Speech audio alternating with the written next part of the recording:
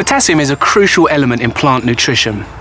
As a plant moves into the flowering phase, it will need proportionally more potassium. Let's have a look at why potassium is so important. Potassium plays an important role in the absorption of water and the plant's management of water. It affects the absorption of water through the roots, the functioning of the stomata, the turgidity of the plant, and the transportation of sugars throughout the plant. It is estimated that plants take up 5 to 10 times as much potassium as nitrogen or phosphorus.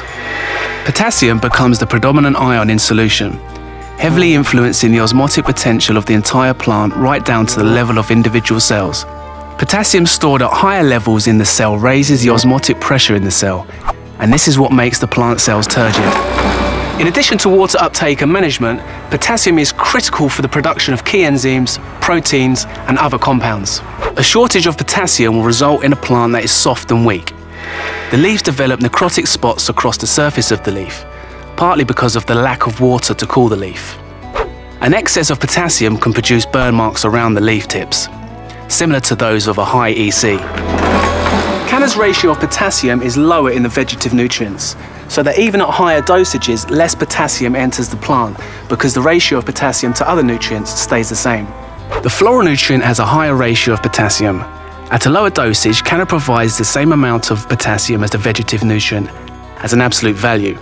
But we can build up the amount of potassium by giving a higher dose. The ratio of potassium will be even higher when you add the phosphorus potassium nutrient, PK1314. The other elements are already at the right level for the plant. But when the plant begins to form flowers, it will need more potassium. Canna recommends this extra PK for a period of about one week only, because this will provide enough potassium in the substrate for absorption through the roots, if the plant has formed enough flowers. If the plant doesn't have enough flowers, the leaves will absorb this extra potassium, which will damage the plant.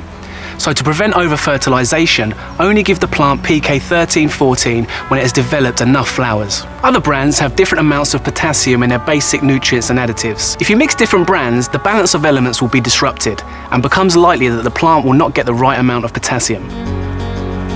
So don't mix brands.